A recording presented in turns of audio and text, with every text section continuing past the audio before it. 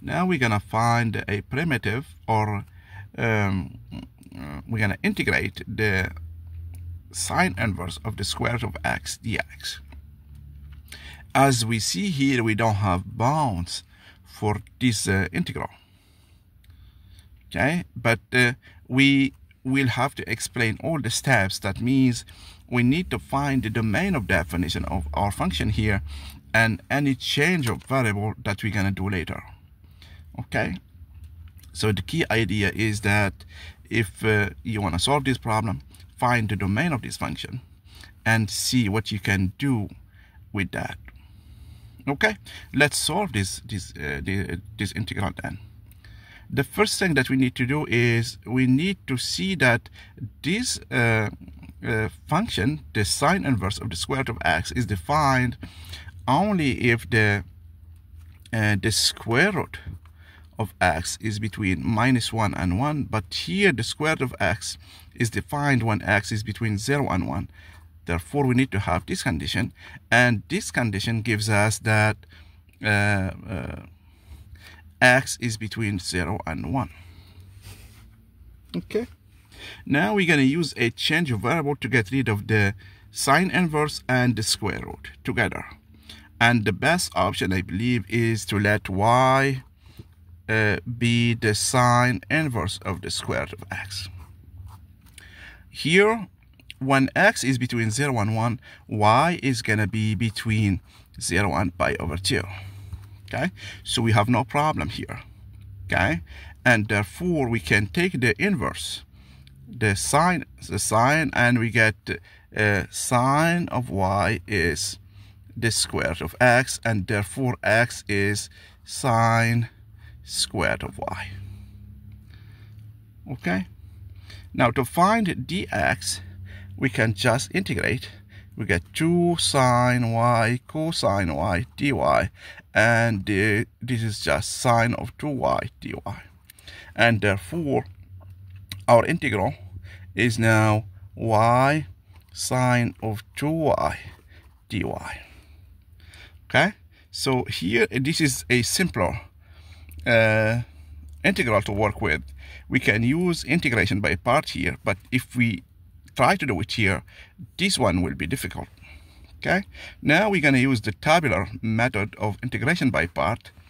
We're gonna differentiate y and we're gonna integrate sine of 2y here so we integrate y one time and another time to get zero. And here we uh, uh, integrate get the cosine of 2y and we integrate one more time to get sine of 2y and therefore plus minus and we multiply with a tilted multiplication we get that our integral is gonna be uh,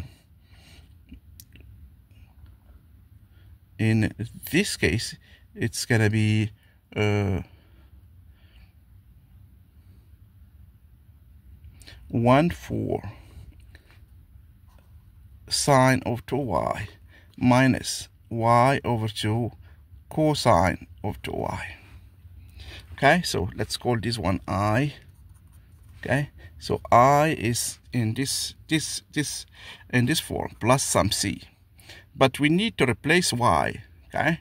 So our y was uh, uh, sine inverse of the square root of x minus sine inverse square root of x over 2 times cosine of 2 sine inverse of the square root of x. Okay? Well we, we will have to do one more step or two steps. We need to simplify this expression here. Okay? Using the rules of of the sine.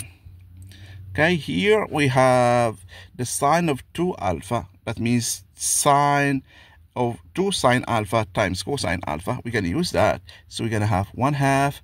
So the sine of the sine inverse of the square root of x is just square root of x times the sine uh, times the cosine of uh, the sine inverse of the square root of x. Okay? Minus sine inverse of the square root of x over 2. Here we're going to use the property 1 minus 2 sine squared of the sine inverse of the square root of x, which is going to give us x. Okay? So here, this is just x. And therefore, we need to simplify. The only thing that we need to simplify is the, the cosine of the sine inverse of the square root of x. Okay?